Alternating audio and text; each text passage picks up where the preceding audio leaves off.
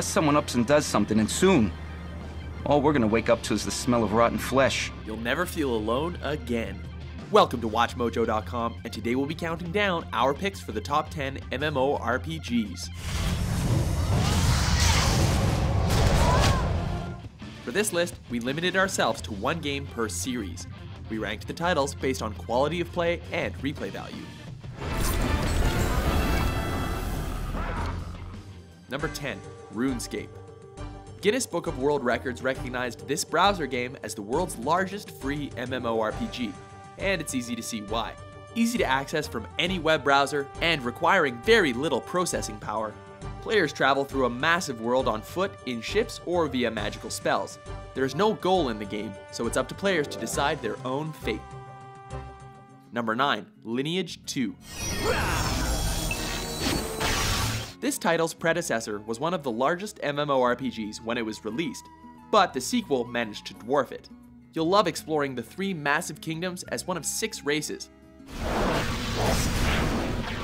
The intense siege warfare and in-depth leveling system ensure that you won't run out of things to do, and, best of all, the game recently went free to play if you're curious to check it out. Number 8, Guild Wars 2. Today, I plan to venture beyond the gates of the city and see the world for myself. This title distinguished itself from other games in the genre at the time, including the original, by featuring a storyline which responded to players' actions. My success positively impacts my crew, who then gratefully assist me. Your goal is to reunite the adventuring guild, Destiny's Edge, to fight the undead Elder Dragons. The giant weapons and deadly spell effects make that feat more doable. Unlike the class-based play of normal MMORPGs, you'll act as multiple classes combined into one.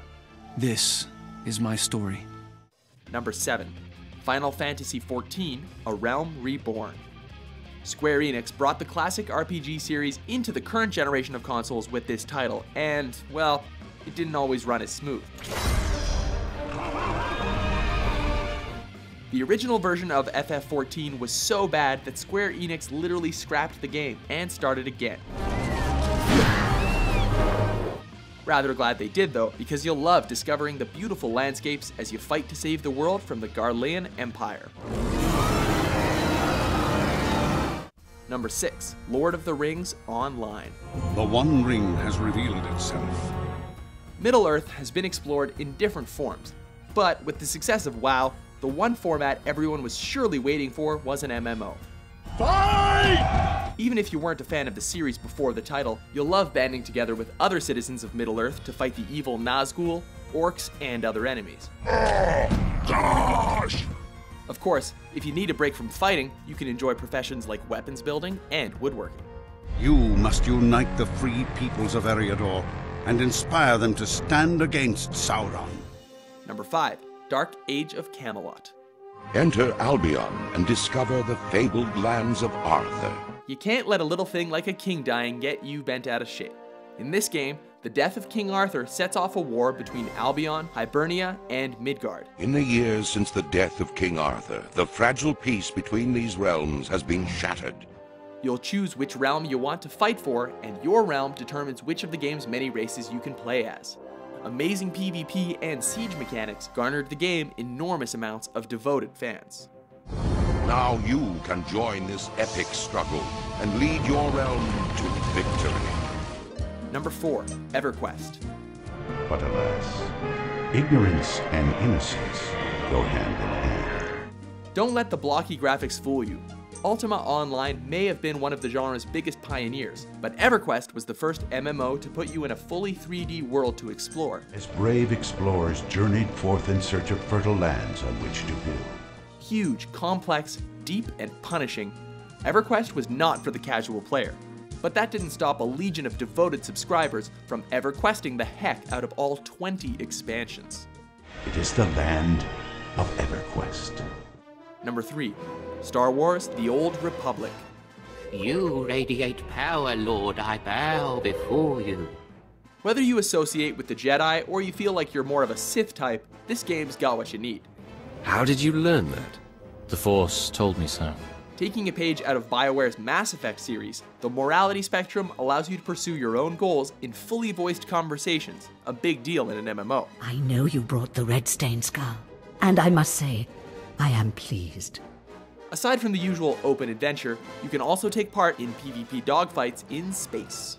Be strong, be merciless, and may the Force be with you. Number 2, EVE Online. I got hostiles inbound. Here's a game that emphasizes massive in MMORPG. The 7,500 star systems made for a seemingly limitless galaxy filled with wormholes, asteroid belts, moons, and more. Honor isn't about making the right choices. It's about dealing with the consequences. Unlike other titles in the genre, EVE functions as a single universe instead of multiple realms, so you'll never run out of players to interact with. Battleships on grid. Time's up. We gotta go. Negative. Just hold them off. I'm almost through. Fun fact in the city of Reykjavik, Iceland, there's now a monument dedicated to this game, with all the active players' names etched into the base. There's been a change of plans, Vanguard. Orbital strike launched. Before we get to our number one, let's take a look at some honorable mentions.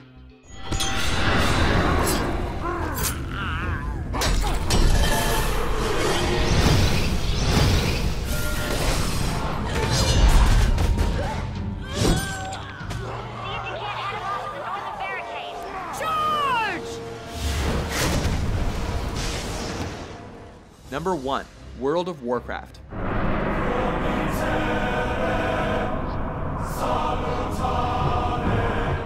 I guess there was never any doubt.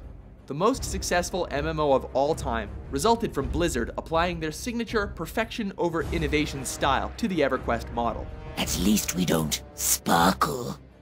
By slowly introducing elements to new players and removing a lot of the more frustrating genre tropes, Warcraft hooked millions of subscribers and hasn't let go. And, thanks in part to South Park, it allowed for machinima style short films to receive mainstream recognition. Do you agree with our list? It about to chew off more than it can bite. What's your favorite world to get lost in? For more massive top 10s published daily, be sure to subscribe to WatchMojo.com. Excuse me, could I just, um, sniff your backside for a sec?